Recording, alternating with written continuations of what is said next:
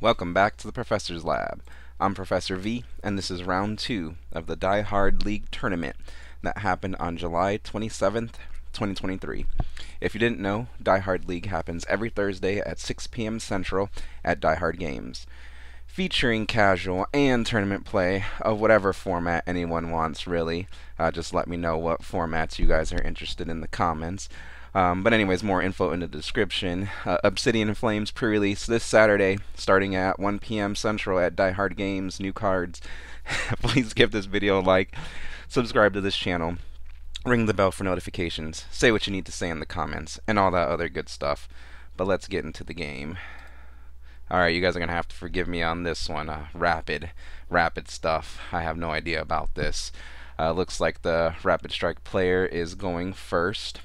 Um, they are looking to get a Remoraid down. I know that's very important. Uh, are they going first?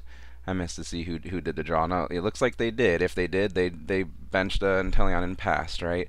Uh, nest ball being played on the right, um, searching the deck for a basic Pokemon and putting it onto the bench, and it looks like that important Frigibax is found in this Chien Pao Baxcalibur deck. that's the name of the game in this deck's name, you know. Uh, the second uh, most beautiful nest ball, and Irida coming down. Uh, nest, you, are, you guys already know what nest ball does, and then Irida lets you search for a water Pokemon and an item card. So Nest Ball is going to find that Arceus V, Irida is going to find Radiant Greninja, and Battle VIP Pass. Rolling on all cylinders here on the right. Second Frigibax found, very important, just in case uh, one of them gets KO'd. And uh, a Lumineon. Now, let's see something here. Okay, I had to double check uh, Battle VIP Pass text. It looks like the Pokemon that's found uh, has to go directly onto the bench. So we'll wait and see what happens uh, before uh, I rewind or, or something. I like to make sure I'm uh, calling things correctly here. Um, but if the Lumineon is found with the Battle VIP pass, um, then uh, its Luminous Sign ability cannot be used since it's not played from hand. Oh, okay. You know what? What might be happening here is uh, let me go ahead and pause things here so we can get too sidetracked. Uh, what might be happening is um, the, the player on the right communicated, hey, I'm actually grabbing um, with Irida, not Greninja, I'm grabbing Lumineon and Battle VIP Pass. And then with the Battle VIP Pass, um, Radiant Greninja and Frigibax will hit the bench, allowing Lumineon to enter the hand. So that that may or may not uh, be what's going on. Uh, if you happen to know or caught something that I didn't, uh, please let me know in the comments or IRL. You know, you know where to find me. Anyways, uh, energy basic uh, water is attached to that Arceus on the bench and uh, passing things over to the Rapid Strike player. let's see that Lumineon's still on the board, but we'll we'll move on here. Um, Inteleon evolves, and then Inteleon is going to use its ability, uh, let's see, Inteleon VMAX. Its ability, Double Gunner. You must discard a water energy card from your hand in order to use this ability. Once during your turn, you may choose two of your opponent's bench Pokemon and put two damage counters on each of them. So using Double Gunner to discard a water energy and put two damage counters on a, see I'm not the only one that had to read it. Putting it on a couple Pokemon on the bench, two damage counters.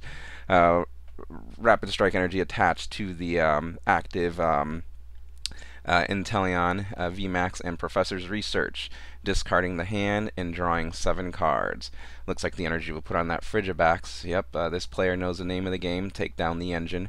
Uh, Remoraid is found. Um, Forest Seal Stone is found and attached to that bench Inteleon VMAX. And let's see, a second double gunner happens. Uh, you can use multiple per turn. Uh, so the, the benched uh, Inteleon is going to put two more damage counters on the Frigibax on the bench.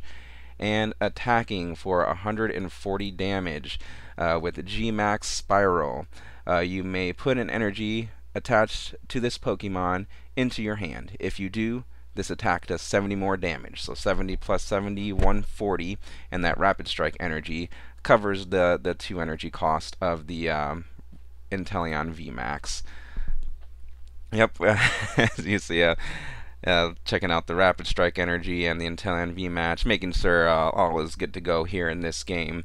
Uh, doing 140 damage to that active, I believe that's Chien-Pao. I might have missed its uh, uh, using its ability last turn too. Uh, my bad on that. Um, trying to figure out, sort out the Battle VIP Pass Irida um, interactions that were going on. Uh, play resumes on the right, starting things off by benching that Lumineon, uh, allowing the player to search their deck for a Irida thanks to Lumineon's Luminous Sign ability, letting them find a supporter card. Uh, Irida is going to find an item card and a water Pokemon. Ultra Ball is found, and a Baxcalibur is found, so there must be a rare candy in hand already.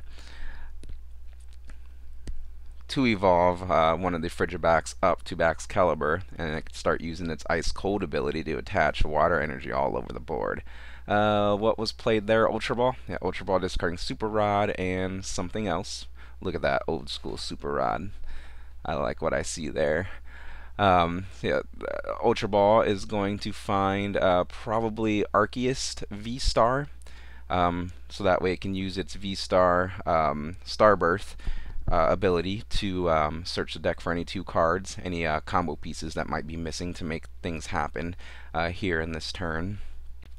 Uh, but we'll see what they find. Uh, Baxcalibur was finds, found, so I don't think you find another one of those.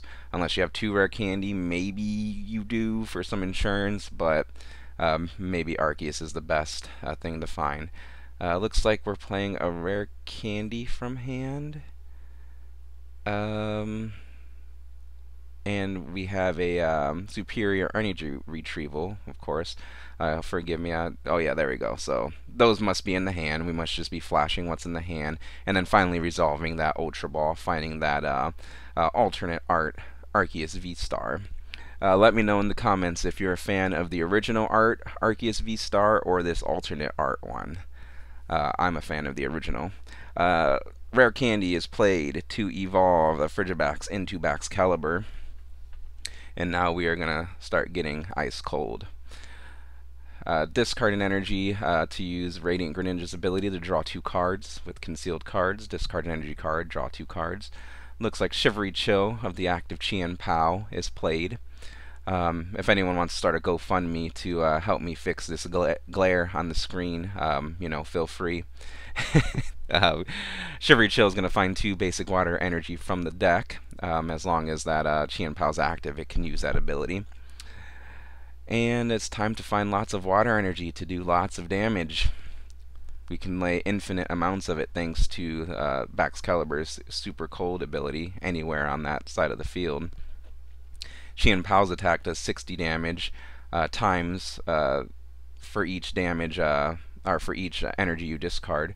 It looks like Superior Energy Retrieval is being played. Discard two cards and put up to four uh, basic water energy from your discard pile to your hand and it looks like the full amount of energy needed to be discarded to take the one shot on that Inteleon VMAX with a 320 HP was done. KO, three prizes taken, half the game over. Energy retrieval being played here on the left, uh, getting two energy from the discard to their hand. Another uh, double gunner, uh, putting more damage on the bench Pokemon. Uh, looks like they're going to choose uh, to spread it out a little bit more here. A Rapid Strike Energy being attached to the active Pokemon. What was that card that was just played? Forgive me, guys, here. Ultra Ball, of course. Discarding two cards and finding any Pokemon you want from the deck. basic evolved, doesn't matter. Looks like that Octillery is going to be found. That is key here in this Rapid Strike deck. Octillery with its Rapid Strike search. Once during your turn, you may search your deck for a Rapid Strike card and put it in your hand. So, uh, of course, the Rapid Strike deck is filled with uh, lots of good Rapid Strike cards uh, that this Octillery can find. Such a powerful card here in this format we have with these Rapid Strike uh, Pokemon, and it looks like Iono is the supporter for turn here. Iono, shuffle your hand. Both players shuffle their hand, put it at the bottom of their deck, and then draw cards equal to remaining prize cards. So player on the left gets six, player on the right gets three. Looks like we are activating that Octillery's Rapid Strike search to find a Rapid Strike card. Rapid Strike Urshifu V is found and put on the bench. Rapid Strike Urshifu V evolves into the VMAX, and that one does damage uh, 150 when it comes up to the active spot, and um, it can do 120, 120 anywhere on the opponent's board. Uh, after discarding all the energy, of course. Uh, but anyways, that's looking maybe too far into the future because we just got a baby Urshifu V here on the bench. V-Star power being activated for that Forest Seal Stone uh, lets you search your deck for one card, any card you want. You don't even have to show your opponent. And you put it into your hand. Very good card here in the format we have um, with these V Pokemon. They're still hanging in there. they haven't all rotated yet. Um, Pokemon named that after me, by the way. Um, that Radiant Al Alakazam being found. Its Painful Spoons ability lets you move up to two damage counters from one of your opponent's Pokemon to another one of their Pokemon, taking the KO on that Frigibax. Always nice to take prizes before the end of the turn. And then um, the uh, Rapid Strike Inteleon V attacks for 140, taking the KO on the active Chien-Pao. Radiant Greninja is promoted here on the right. And what can we do? I don't think the um, Arceus V-Star ability has been used, uh, unless I'm tripping. Um, but what we're going to want to do is find another Chien-Pao, get a bunch of water energy into the hand to take the KO on this active three prize Pokemon taking the game. Let's see what our ice player can do here on the right. Going to start things off with a superior energy retrieval, discarding two cards and getting four basic energy from the discard pile into their hand. So there's some energy. And we need, yeah, we're going to need to discard six of them um, with Chien-Pao's attack in order to KO the active Pokemon. A uh, concealed cards uh, is activated, discarding a card um, and uh, drawing two cards thanks to that Radiant Greninja's ability.